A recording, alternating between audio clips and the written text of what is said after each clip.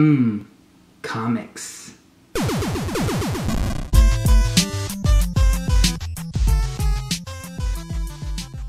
Yo, yo, what's up, Comic Reading Universe? We meet again. It is I, your friendly neighborhood comic book reviewer, Stephen Savelli from hashtag NerdSwag, and I'm bringing to you the staple stash for comics that were released on Wednesday, April 2nd, 2014.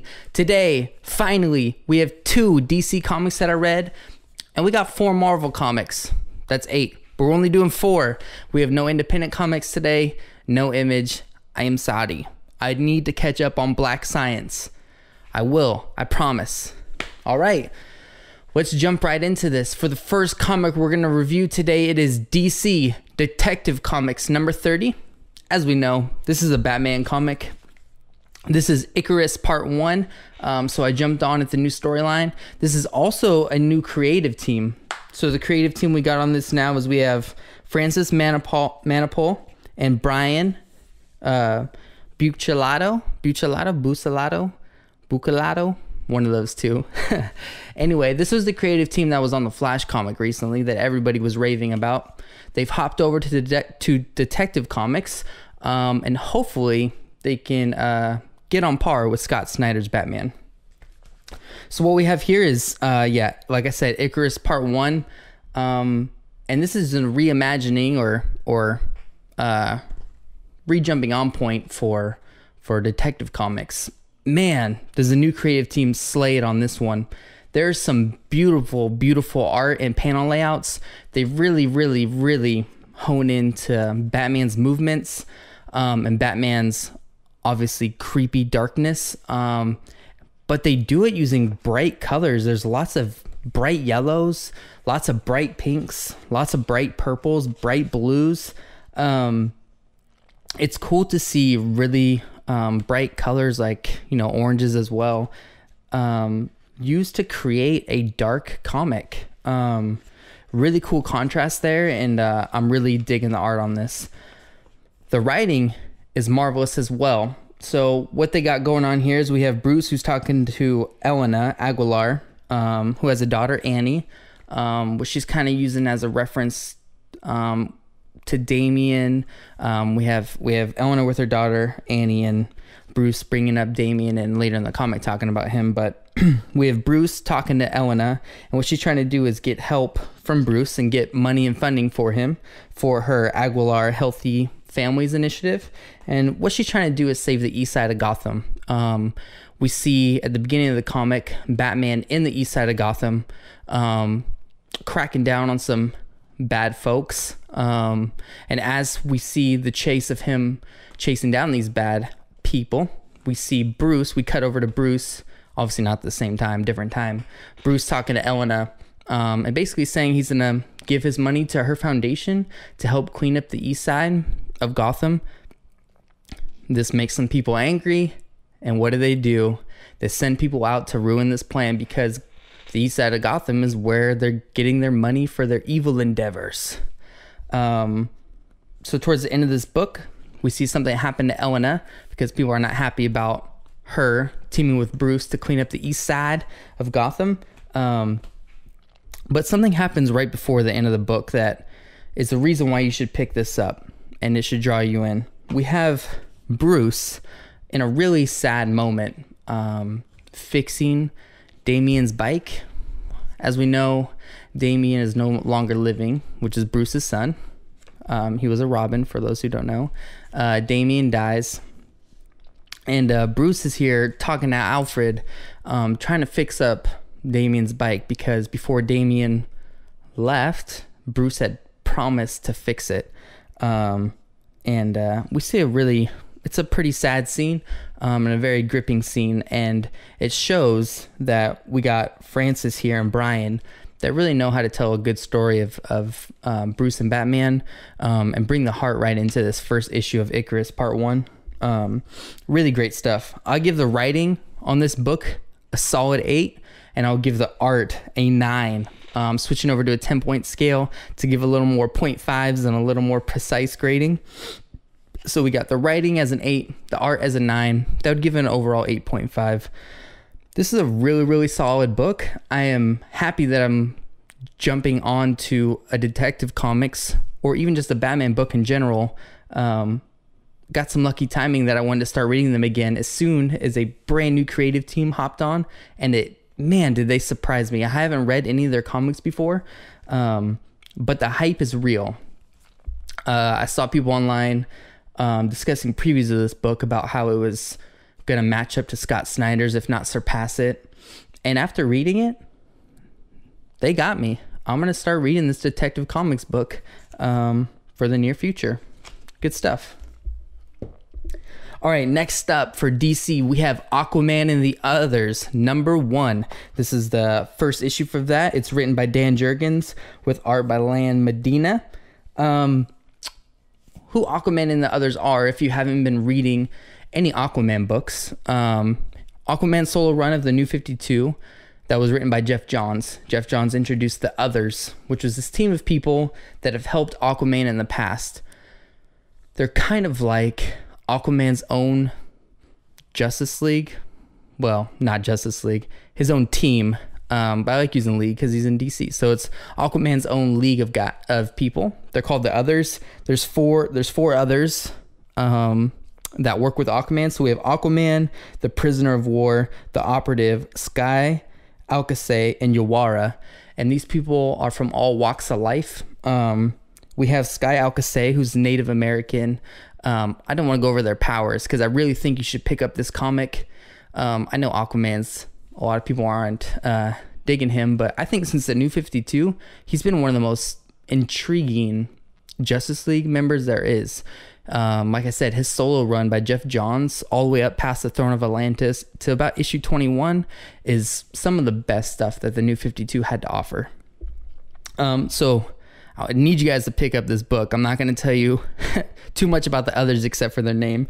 Uh, so we have the prisoner of war, who was an old military um, person who, um, yeah, is one of the others. I was about to say his special power or whatnot, but we have the prisoner of war, old military guy. We have the operative, who kind of looks like, um, uh, he kind of looks like Tom Clancy style secret agent guy.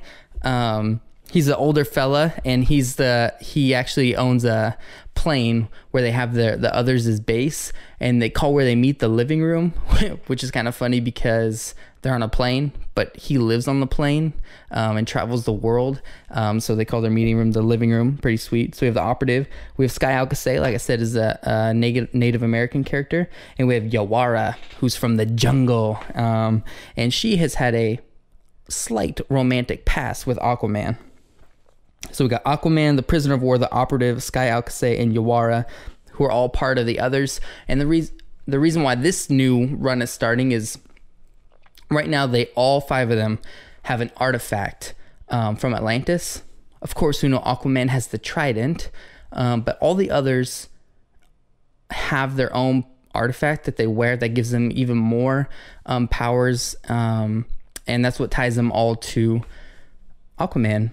Uh, so all the these Atlantis artifacts were founded by Atlan, the guy that founded Atlantis, um, and the whole idea of this book it's really an introduction to these characters. So we see each one of them being attacked by people that want all these artifacts. Kind of your stereotypical superhero origin we'll, we'll say origin book for the others. Um, just introduces them all. You get like this quick little background and they all get attacked and the end of this book is them meeting trying to find out why they're being attacked uh, this actually isn't a great book um, especially for me who's read the Aquaman series, so I already knew who these characters were. I didn't need an introduction. Um, so I would give the writing on this a five and the art a six. But even though I'm scoring this kind of low for the writing and art, actually my overall feeling of this book was I loved it. I was familiar with these characters, um, and I like where it's going. And I've liked what I've seen in the past, and Dan Jurgens I feel like has a good feel for Aquaman and these and these people. So I think this is a hot read. Actually, I think as time goes on, this book is gonna be really solid. All right, next up, we're gonna hop over to Marvel for this week, and I got four comics. We're gonna start with the one that I had the funnest time reading, and that is Loki, Agent of Asgard, number three. This is um, this book has writing by Al Ewing and art by Lee Garbett. the first issue I loved. The second issue, um, Loki was doing speed dating, um, and he was trying to find Lorelei from Asgard, and I just really wasn't feeling it. But this issue of Loki, Agent of Asgard, has got me back onto this book. If you're not reading Loki, Agent of Asgard, Loki's trying to be a good guy. He's trying to do things for the All Mother, and by doing these missions for her, he's hoping to take off some of the things he's done from his history um, and try to clean his slate. Um, which means he'd have to do a lot of missions because Loki's done a lot of terrible things. But Loki died and has been reborn kind of as a good. Well, we'll do we'll use these. He's been reborn as a good guy.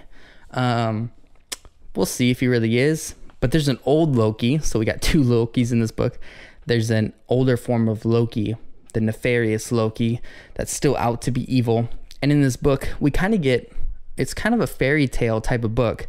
We have the evil, nefarious Loki going back in time and really um, using Odin when Odin was a kid as a pawn to do an evil, evil thing and uh, create himself a powerful weapon that he can use in the future. Um, not too much to go on about this book, but this book is fun. This book is funny. This book is creative, and it is um, a fast paced, exciting book. I, I never thought I would like a campy Loki Agent of Asgard book. I felt like they were just making this book for fans of the movie, of the movies of Thor, but this is actually turning out to be a pretty good little run, and I would highly recommend it. So I'd give the writing on this a seven, and I would give the the art on this a seven as well. There's not a lot of creative panel layouts, and the writing's not like this this immense drama with all these different layers, but it is freaking fun as crap to read. Um, my favorite Marvel book of the week for sure. Um, and I'm not a guy who likes these kind of books either. I like the dramatic, dark, um, human emotion stories. and this just had me smiling the whole time, and I I loved every minute of it. All right, next up we have the biggest event in the no in the known near future, and that is Inhuman number one from Marvel. Uh, I use that voice because I feel like they've hyped this up like monster truck videos. You know the monster truck commercials you see on TV. Anyways, I feel like Marvel's been hype, hyping this up, and we've had creator changes, and this book will never live up to the hype that Marvel has given it. On the cover, it says Marvel's latest epic begins here. No. I'm pretty sure Original Sin starts really soon, and that's written by Jason Aaron. And that book is gonna crap on the sales of Inhuman. The writing's gonna be better, the art's gonna be better. Um, I give this book and the writing a four out of ten, and I give the art in this book a four out of ten, maybe a five out of ten. I'm reading New Avengers, which has really got me back into this inhuman story, uh, the inhuman people. Um, Black Bolt is a super cool character in the new Avengers. And like I said last week, I really liked the Infinity run, and I liked what Infinity had to give and uh, what it had to do for the Terrigen Mist spreading out in the world, where Black Bolt destroys um, his city and spreads the Terrigen Mist. And this is the pickup of that of how that mist is going out and taking people and turning them into inhumans. If you don't know who the inhumans are, basically the Kree came to planet Earth way, way back in the day, prehistoric times. Well, not prehistoric. Went back in the day when humans were a brand new species and basically um, did experiments on humans. So the Krees, aliens, came down, messed with these humans. Uh, those humans are called the Inhuman because they have special abilities that the Kree gave them when they messed with their DNA.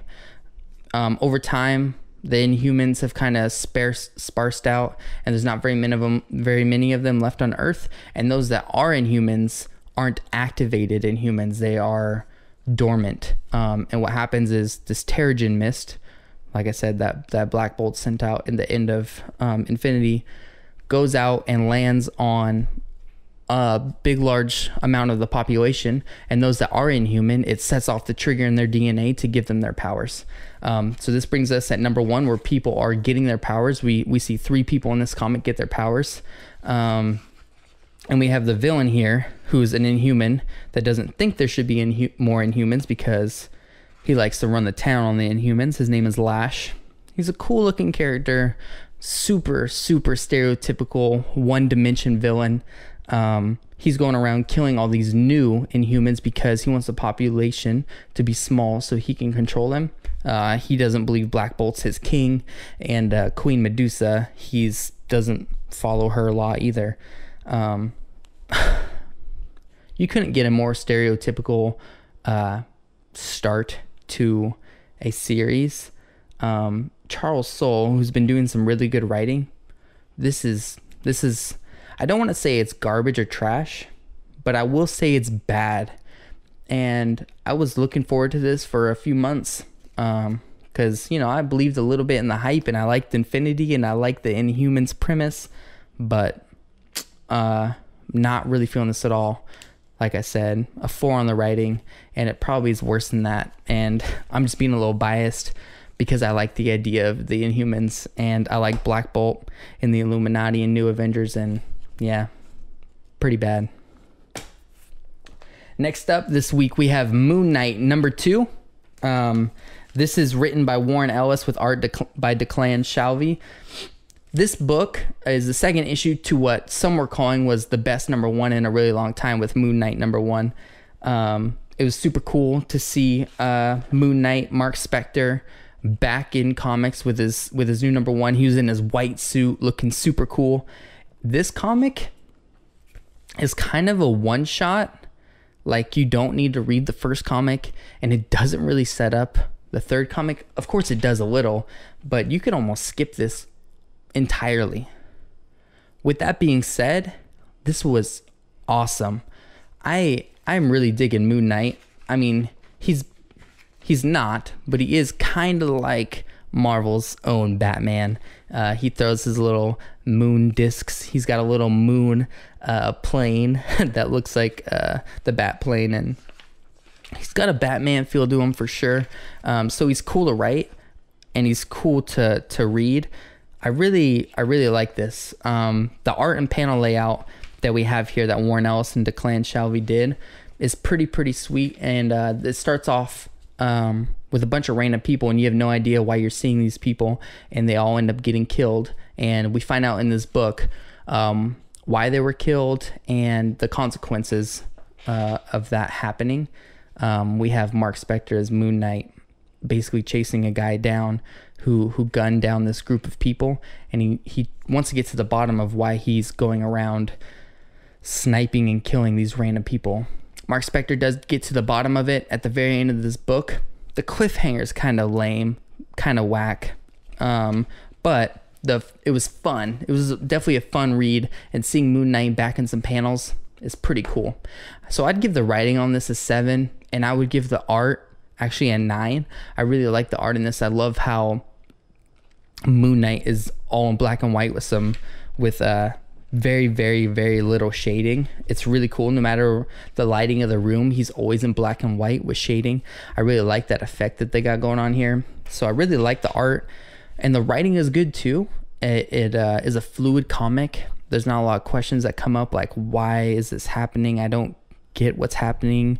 Um, why are we telling this story? It's just that this could be skipped entirely and you would be just fine going from issue one to probably issue number three. Yeah, a little disappointed. Actually, very disappointed about this Moon Knight comic. All right, last up this week for Marvel Comics, we have Ultimate Spider Man number 200. Of course, we all know this is written by Brian Michael Bendis. He has been writing this Ultimate Spider Man comic for 15 years. 15 years. He has written 200 issues of Ultimate Spider Man that is crazy. From Peter Parker to Miles Morales and everything in between. Um, Brian Michael Bendis has written this. This was an extra large issue.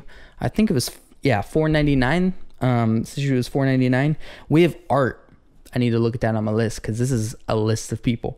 We have art on this comic by Dave Marquez, David LaFuente, Sara Pichelli, Mark Brooks, Mark Bagley, and Andrew Hennessy. Um, all did penciling and art on this comic. This is a this is a celebration of Peter Parker. Um, this comic is Aunt May bringing pe- all the people that were close to Peter Parker, um, bringing them to her house, and they all give their stories and history about Peter Parker. Um, this is a really touching book. Uh, it's cool for people who haven't read read a lot of the Ultimate Comic Peter Parker story, um, or or Peter Parker Spider Man in general. If they've just been reading this new Miles Morales um, Spider Man, it gives a really really cool history of all the stuff um, that he's done, and they've used uh, Brian Michael Bendis in this story. Use a lot of cool characters like Iceman and Firestar to tell some history of of uh, things they did with Spider or not can't say Spider Man. Things they did with Peter Parker and what they remembered about him. And this was just a man, this was a tearjerker. This was a really good book. Um, it ends with a cool cliffhanger. Um, this is going to the to Miles Morales' new number one Ultimate comic, and we know that that Peter Parker is coming back as Spider Man. Um, I think by the end of April, the last week of April, we'll have Spider Man uh, I'm not sure. There's there's a word before Spider-Man. Maybe it's the Amazing Spider-Man number one again. But we do have Peter Parker coming back soon, so it was cool for them to end um, this Ultimate Spider-Man run on number 200 um, with all these artists that have worked on worked on it, and all these people who are close to Peter Parker Spider-Man talking about his past, and it really does set. It really is the finality of this story, um, and the, and Brian Michael Bendis does it in a very very classy and very well done way. Um, I don't, there's not too much to say about it. You kind of have to read it to enjoy it. There's uh, there's amazing splash pages that they do. Um, a splash page, for those who don't know, is the when you open it up uh, when you're actually reading a real comic, and you open it up and both pages make one big picture. Um, I think there's like three or four big splash pages in here where you see like the Avengers, and then you see all the different Spider-Man suits um, and different vehicles he was in and stuff like that. So there's some really awesome splash pages. So the art, I would give a nine. I'd be, I could be convinced to give the art a 10 out of 10. And I'm going to give the writing a 10 out of 10. From start to finish, this comic book was impeccable. It was perfect. And if you are a Spider-Man fan, whether Peter Parker, Doc Ock, Spidey, Miles Morales, anything, if you are a fan of Spider-Man, if you ever have been or you ever will be, um, you should go and buy this comic. You should have it. This is something you need on your shelf. It doesn't matter if you've read any of the other Ultimate Spider-Man comics. This is one you have to have in your library, on your shelf. Um, you pull it out whenever you want. It's just a sweet read from start to finish. Um, this is a big event in Spider-Man history, Peter Parker history, and it sets up Miles Morales' new Spider-Man run, and it sets up Peter Parker coming back as Spider-Man. Pretty damn key issue for Marvel um, comics. So yeah, that's it for this week for for DC and Marvel. Like I said, no Image comics this week. Um, I'll be looking to pick up some more independent comics.